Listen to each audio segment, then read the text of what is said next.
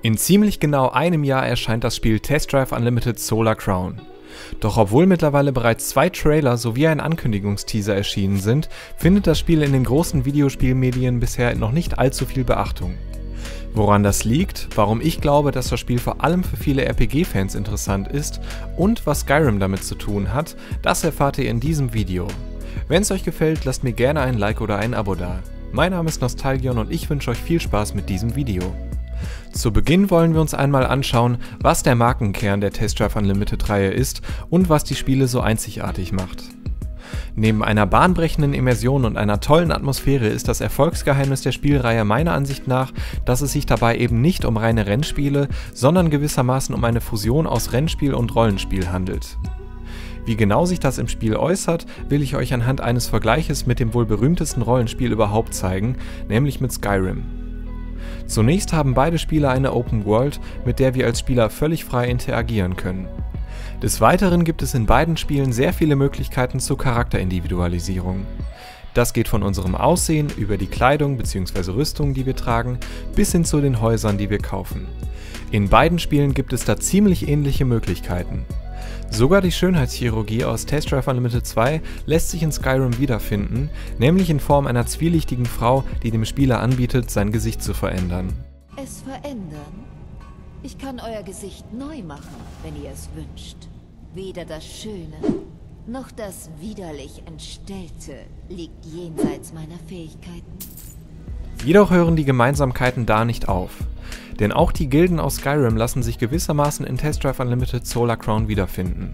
Und zwar können wir uns auch dort in zwei Clans, namentlich die Streets und die Sharps, hocharbeiten und ich vermute, auch wenn dazu bisher noch nicht allzu viel bekannt ist, dass uns dort möglicherweise spannende Questreihen erwarten. Auch einfache Quests gibt es in Test Drive Unlimited, nämlich in Form von sogenannten Sofortherausforderungen.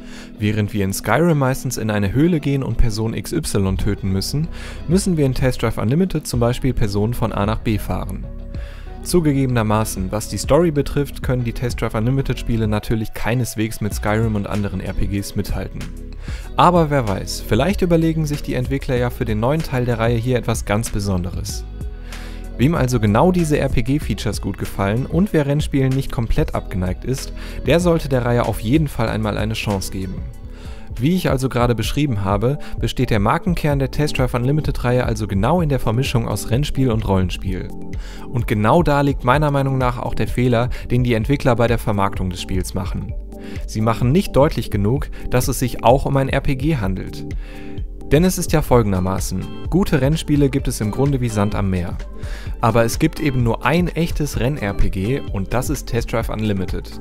Zugegebenermaßen, die beiden Trailer weisen sehr deutlich auf zum Beispiel die Charakterindividualisierung und die RPG-artigen Quests hin, aber ich fürchte, dass das alleine nicht reicht. In keiner Stellungnahme und in keinem Interview mit den Entwicklern fiel bisher meines Wissens nach das Wort RPG oder Rollenspiel. Ich halte es aber für extrem wichtig, dass genau das getan wird. Ich finde, man muss gewissermaßen proaktiv Schlagzeilen provozieren, wie das Skyrim der Rennspiele oder dieses Spiel vereint Renn- und Rollenspiel, um ein paar Beispiele zu nennen. Nicht nur würde dies die Einzigartigkeit dieses Franchises viel deutlicher und plakativer heraustragen, sondern es erschließen sich dem Spiel auch völlig neue Zielgruppen. Man erreicht natürlich deutlich mehr Leute, wenn man sowohl Rennspielfans als auch Rollenspielfans anspricht. Ich befürchte, dass bisher in erster Linie Leute auf das Spiel gehypt sind, die damals schon Test Drive Unlimited 1 oder 2 gespielt haben. Das reicht aber für einen bahnbrechenden Erfolg nicht aus. Man wird sehen, ob die Entwickler das vorhandene Potenzial ausschöpfen können oder nicht. Ich hoffe, euch hat dieses Video gefallen.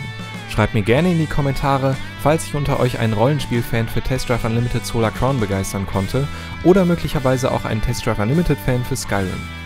Schreibt mir außerdem gerne in die Kommentare, ob ihr meine Meinung zur Marketingstrategie von Con teilt und was ihr davon haltet.